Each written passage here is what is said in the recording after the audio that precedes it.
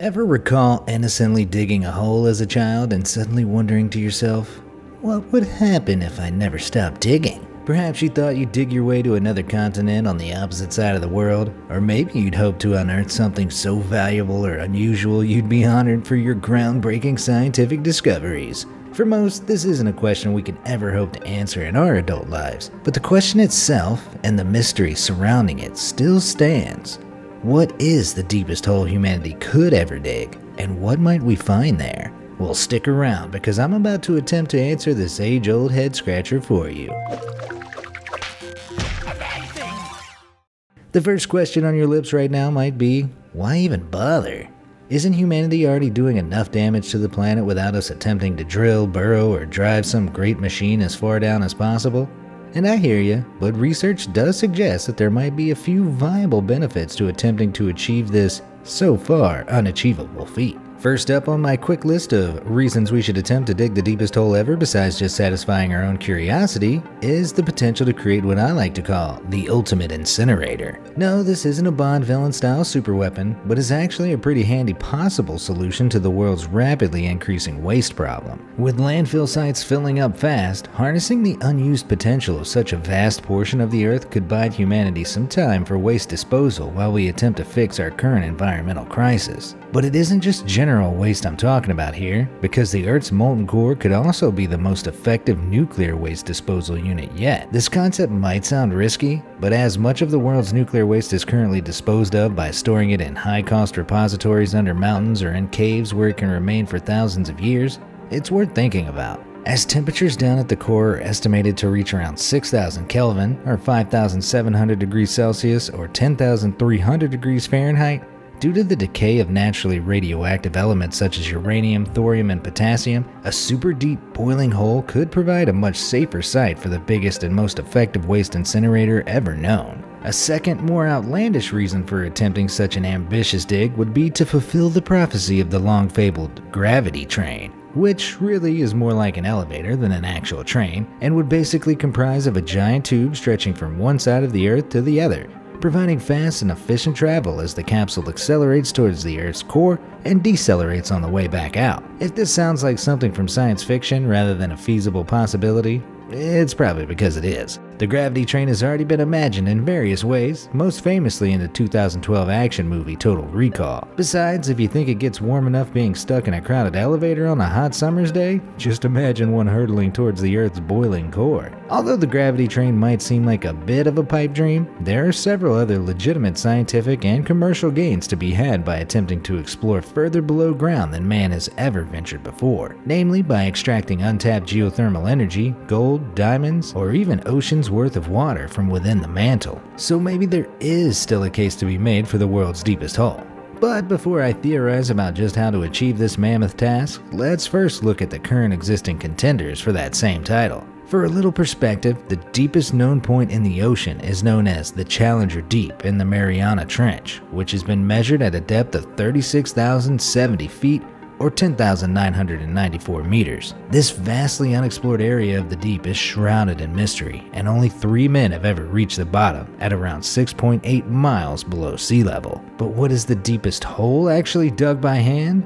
Originally a cost-cutting method which became a world record attempt, the Woodingdean Water Well in Woodingdean near Brighton, UK is the deepest hand-dug well ever recorded, taking a total of 4 years to create with a depth of some 1,285 feet. Try pulling that out at a pop quiz. Turning attention to some of the biggest man-made hole aided by machinery, the Mir mine is an open-pit diamond mine located in Mirny, eastern Russia, which has a diameter of 3,900 feet and a depth of over 1,722 feet, or 525 meters, making it one of the largest excavated holes in the world. Following its initial discovery as a diamond bearing depository in 1955, the mine brought in 10 million carats of diamonds per year.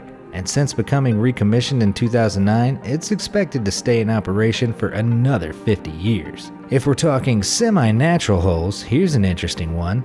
The Guatemala sinkhole is a 30 story deep gaping chasm which may appear to have been caused by a freak sinkhole, but was in fact the result of a man made piping feature. A natural sinkhole occurs when water saturated soil causes the roof of an underground limestone cavity to collapse, but as Guatemala City is formed atop ground made up of a material called pumice fill, the natural occurrence of this giant hole is unlikely. Instead, a lack of building regulations in the area means that untreated leaking underground pipes are more likely to have loosened the gravel like pumice, causing the correct conditions for what is essentially a man made sinkhole. Scary stuff. But perhaps the most widely known deepest hole attempt goes to the Kola Super Deep Borehole in Russia. This monster hole is the result of a Soviet Union scientific project which attempted to drill as deep as possible into the Earth's crust, reaching a true vertical depth of 40,230 feet or 12,262 meters. After 24 years, drilling eventually ceased in 1994 because, basically, the drill started to melt while struggling against temperatures of 180 degrees Celsius or 356 degrees Fahrenheit. Although this still remains an incredible scientific achievement, Reaching deeper than the deepest point in the ocean, the borehole still only reaches 0.2% of the way to the legitimate center of the Earth, which is estimated to be more than 63,000 kilometers below the surface. Another attempt to reach closer to the mantle than the Kola Super Deep borehole is the deepest oil well in history, known as the Deepwater Horizon. This drilling rig was located offshore, where the Earth's crust is slightly thinner, but it ended in total disaster when in 2010, a geyser of seawater erupted, causing a chain of events which transformed the slushy remnants of drilling mud and methane into a gas. The gas then ignited into a series of intense explosions. In actual fact, the true deepest hole humans have ever dug is known as Z44 Chayvo, which is the world's deepest well with a total depth of 40,604 feet or 12,376 meters in length. The Sakhalin 1 project, responsible for creating the well, had previously surpassed the Kola Super Deep hole with its history of ambitious digging projects, but the Z44 Chayvo seriously takes the cake with a dizzy depth that is 10,000 feet deeper than the peak of Mount Everest, if it were turned upside down. Now that I've told you what you might be up against if you were thinking about trying to dig the deepest hole of all time, let's imagine what it could take to tunnel further than these existing super deep holes combined. All expenses spared, of course. As I have already mentioned, the Earth's center consists of various known layers which must be pierced before the spherical true core at the very middle can be reached. What's known as the outer core, which sits below 230,000 feet or 70,000 meters of surface crust and 1,800 miles or 2,900 kilometers known as the mantle, is around 1,400 miles or 2,260 kilometers thick and is believed to influence Earth's magnetic field, making the solid inner core at the central point around 3,958 miles or 6,371 kilometers down from surface level, give or take. So, with that basic scientific stuff out of the way, what is the deepest point humanity could hope to reach without all machinery burning up entirely? Current research suggests our greatest achievement could be reaching the Mohorovičić boundary, or MOHO, which is located between the crust and the mantle at 3 to 6 miles or 5 to 10 kilometers below the ocean floor, and 10 to 60 miles or 20 to 90 kilometers beneath typical continental crusts.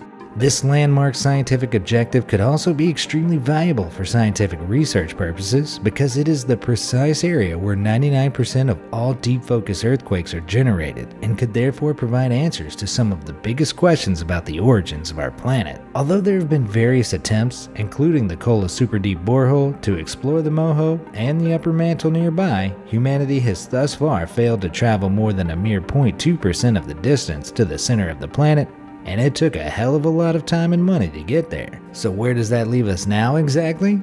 It's fair to say that we have quite literally only scratched the surface when it comes to exploring the Earth's true deepest point, but it doesn't seem all too likely that we can hope to reach it soon either. This is primarily due to the extreme conditions which reside below the ground we walk on, only increasing in risk as you travel further to the center. Besides the unbearable temperatures, which have now been estimated at a scorching 300 degrees Celsius or 570 degrees Fahrenheit, at 40,000 plus feet, we might also expect to encounter some serious technical difficulties with spontaneous curving of deep wells during drilling. In fact, it wouldn't be too much of a stretch to assume that any attempt to drill further than the Z44 Chayvo or Kola Super Deep borehole have already gone would be so technically challenging and expensive at an estimated $1 billion that it would not be done for the purpose of science at all. Considering that the overall risk appears to exceed the possible reward as things currently stand, the closest achievement we can anticipate in the near future would be piercing the outer crust in order to explore the Earth's mantle, while the innermost layers remain just out of reach. Don't lose faith just yet though. Just because the chances of reaching the Earth's center might seem slim, doesn't mean some pretty feasible ways to beat all odds have not been put forward. One research paper published in 2005 has proposed that because both extreme temperatures and ever increasing pressure below surface level are likely to prevent any current drilling techniques from reaching the Earth's inner core, a self sinking nuclear capsule could well be the answer. Sounds pretty cool, right? This method would essentially involve probing the Earth's greatest depths by detecting sound waves emitted by the self-sinking capsule in question, which would then provide us with a greater understanding of the composition of the layers it travels through. This delightfully simple proposal, while no doubt expensive, manages to overcome the many barriers which currently prevent further drilling by essentially allowing Mother Nature to do all the work mankind has been unable to. Because the capsule itself would be made of tungsten, which has an extreme melting point of 3400 degrees Celsius or 6150 degrees Fahrenheit, it would be able to withstand the temperature of the mantle, while an inner sphere of highly radioactive cobalt 60 would be enough to heat and melt the surrounding rock as it travels toward the core. Of course, there are also the obvious dangers to attempting to create an unobstructed hole to the center of the Earth, like permanently disrupting the Earth's fundamental structure or even unintentionally causing a brutal active volcano by releasing some insane amounts of pressure through the Earth's crust. But this is all just hypothetical. For now, at least. Ultimately, it's clear that we know less about what lies below the ground we stand on than what goes on in planets on the other side of the solar system, so attempting to dig deeper than ever before could have some serious benefits. As it stands, attempting to reach the uncharted mantle below the Earth's crust could be our best bet when it comes to those unanswered questions. And with technological advancements never few and far between, who knows what could follow? Do you think it'll be possible in the future? Let me know in the comments down below. Thanks for watching.